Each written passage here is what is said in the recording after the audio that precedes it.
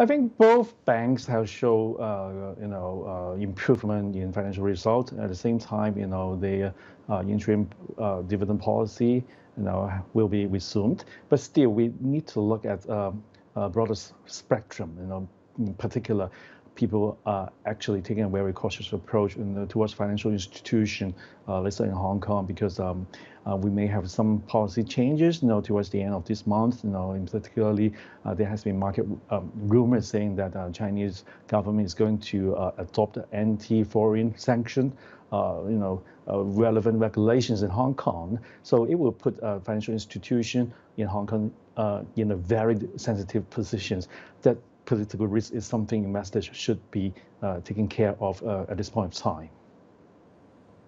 And on those political risks, if I could just uh, dive a little bit deeper there, would you say that HSBC is the most exposed of the, uh, the banks that operate here?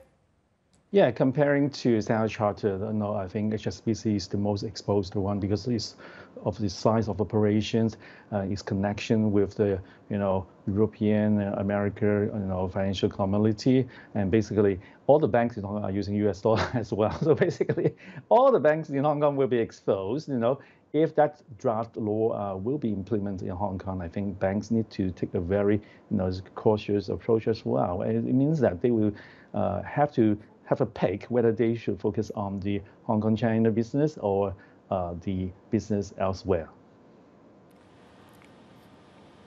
Right, but from a 12-month perspective, Ronald, good morning. can for joining in this conversation. Stanchart has given a return of 15%. HSBC has given a return of 22%. So there's some catch-up mm. that hmm. Stanchart needs to do. Um, I, I wonder what the results and the outlook can help that. Uh, definitely. When we look at the uh, the reason why HSBC has shown some sort of improvement, a bigger improvement than what we have expected, is because lower operating costs. Uh, at the same time, they lower their you know bad debt provision uh, as well.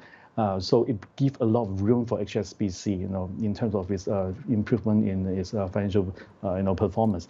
But H, uh, Standard Chartered will be in a different, you know, positions, you know, because its size of the size of its operation is smaller, and also given the, you know, expansion and cost issues, I think Standard Chartered will be in a less, you know, favorable position comparing to HSBC.